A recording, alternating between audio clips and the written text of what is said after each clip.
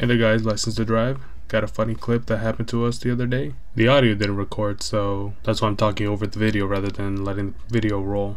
We were playing on house and we all ended up dying. There was only one of our teammates left. Time was running out, so he runs into the garage and finds the last guy that he needs to kill hiding behind the hostage. He tries to shoot him. He ends up losing control of his recoil and hits the hostage downing him. But as the hostage is falling, it falls right in front of the defender who was shooting back at our friend, causing him to hit and kill the hostage. Thought it was a funny moment and I just wanted to share with you guys.